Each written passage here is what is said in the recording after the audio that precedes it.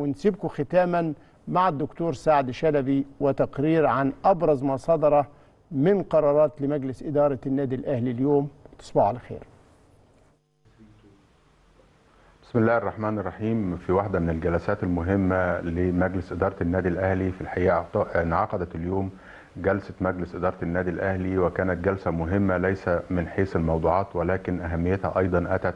من المداخلة الكريمة التي شرفت بها الجلسة من الكابتن محمود الخطيب رئيس مجلس إدارة النادي الأهلي خلال رحلة العلاج الذي حرص على في هذه المداخلة على طمأنة جميع أعضاء مجلس النادي الأهلي الموقر الذي كان لديه شغف كبير للاطمئنان على صحة الكابتن محمود خلال رحلة العلاج اللي هي الذي يقوم بها في فرنسا. وفي الحقيقة الكابتن محمود أيضا حرص على استعراض بعض من جدول الأعمال مع المجلس الموقر وكانت أهم الموضوعات التي حرص أن يستعرضها الكابتن محمود خلال تلك الفترة هي التطورات التي تتم في الفرع الجديد بالقاهرة الجديدة حيث حرص على استعراض جميع التطورات التي تتم في تجهيزات المباني الإدارية أيضا الملاعب الرياضية الخاصة بأبناء أعضاء النادي الأهلي وأيضا الخدمات اللوجستية المصاحبة لافتتاح الفرع. وأبدأ بسعادة بالغة بحجم التطورات التي تتم في هذا الفرع الكبير الذي سوف يكون محل فخر من كل المصريين بشكل عام ومن أعضاء النادي الأهلي بشكل خاص.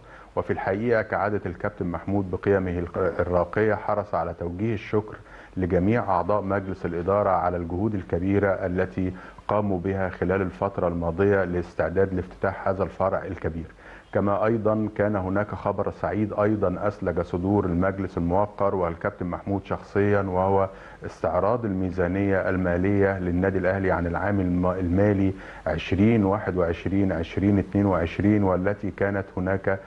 خبر صار لكل أعضاء الجمعية العمومية الموقرين وهو أن الميزانية في هذا العام قد حققت فائض كبير بلغ 149 مليون 853 ألف جنيه بميزانية إجمالية كبيرة وضخمة أيضا. هي الأكبر في تاريخ النادي الأهلي بلغت 3 مليار 87 مليون جنيه. وهنا حرص الكابتن محمود أيضا على توجيه الشكر للسيد أمين الصندوق السيد المدير المالي على هذه الجهود الكريمة في العام المالي 2021 2022 ثم استأذن الكابتن محمود للانصراف في ارتباطه بموعد مع الطبيب المعالج بعد أن طمأن المجلس على الأمور الصحية التي تهم مجلس الإدارة أيضا وجماهير النادي الأهلي الكبيرة والعريضة في كل مكان. ثم انتقل المجلس بعد انصراف الكابتن محمود إلى مناقشة جدول الأعمال في الحقيقة اللي كان أيضا يتضمن مجموعة من الموضوعات المهمة وكان أهمها هو الاستعدادات التي تتم أيضا على قدم وساق لانعقاد الجمعية العمومية للنادي الأهلي عن العام المالي 2021 2022 وكافة التجهيزات التي تقوم بها الإدارة التنفيذية لاستقبال أعضاء النادي الأهلي الموقرين بكافة التسهيلات التي يمكن أن توفر سبل الراحة خلال يومي انعقاد الجمعية وهم 28 و 29 آه ثم انتقل المجلس أيضا لمناقشة موضوع تم آه مناقشته على مواقع التواصل الاجتماعي وانتشاره على مواقع التواصل الاجتماعي وهو الخطاب الذي كان يشير إلى أن هناك فرع آه للنادي الأهلي في العالمين حيث أشار الخطاب إلى أن وزارة الإسكان قد قامت بتخصيص قطعة أرض وفي الحقيقة المجلس يعني أشار إلى أن هذا الخطاب لم يصل إلى النادي الأهلي بصورة رسمية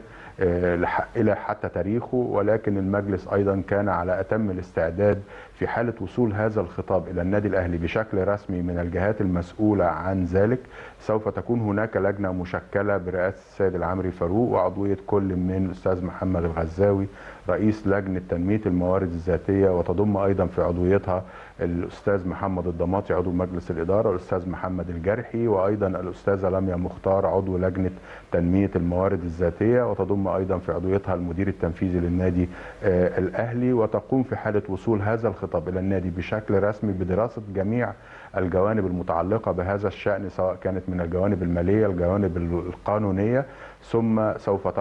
ترفع تقرير إلى مجلس الإدارة الموقر برؤيتها حول هذا الموضوع. ده كان جانب أيضا مهم من الجلسة ثم انتقلت الجلسة إلى مناقشة الموضوعات المتعلقة بالجمعية مثل التقرير مجلس الإدارة عن العام المالي 2021 وما يشمله أيضا من خطة الأنشطة للعام المالي القادم. كما اعتمد المجلس الإدارة مشروع الموازنة عن العام المالي 20 2022 2023 بالإضافة إلى مجموعة من القرارات الأخرى التي استصدرها مجلس الإدارة خلال تلك الجلسة الموقرة. وكان المجلس أيضا حريص على التأكيد على أن تكون هناك استعدادات كاملة من قبل إدارة النادي لاستقبال أعضاء الجمعية العمومية ومتابعة ونشر التقارير الخاصة بهذا العام المالي 2021 والذي شمل الكثير من الأخبار التي أيضا سوف تسعد جميع أعضاء الجمعية العمومية. وأما كما ذكرنا في البداية هو وجود فائض منذ فترة كبيرة في ظل تحديات اقتصادية مر بها العالم وأيضا لها انعكاسات أيضا على الدولة المصرية أن تكون هناك فائض في ميزانية النادي تقدر ب 149 مليون جنيه 853 ألف جنيه وهذا فائض أيضا كبير في الحقيقة. يستحق الشكر والتقدير لكل الجهود التي قام بها مجلس الإدارة. شكرا جزيلا لكل متابعي النادي الأهلي.